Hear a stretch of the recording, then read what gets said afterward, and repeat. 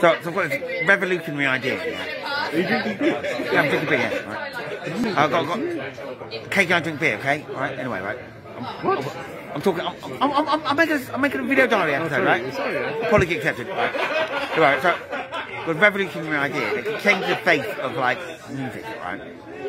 I'm thinking like, you know, like mixers, right, for DJs, right, right? How come like all the cables are going out the back of the mixer? That means all the cables go right past all the, where the um, where the crowd is, where they where the punters are, yeah. So they end up dragging the cables and you know fucking things up, which happens all the time, yeah. Why don't they have the cables going out the front of the mixer, yeah?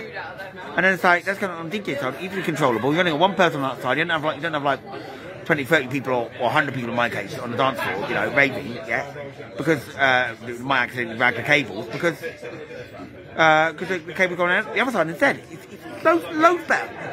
And like, so what, they could redesign all the mixers, yeah, but like, but, they, but, if you've- already bought a mixer from like five or ten years ago, so you got one with the old style before they bring you my new idea. So the cables are going out the back of it. So I'm like, you know what we could do instead, right?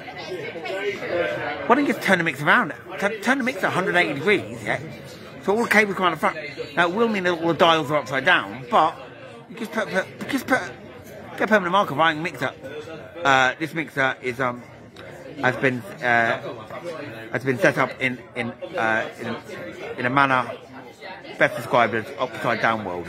If anything goes wrong, blame customer. It's a revolutionary idea that will improve the face of live DJing. That's my idea. Uh, and um, yeah, uh, you can phone me later, maybe buy me a couple of beers.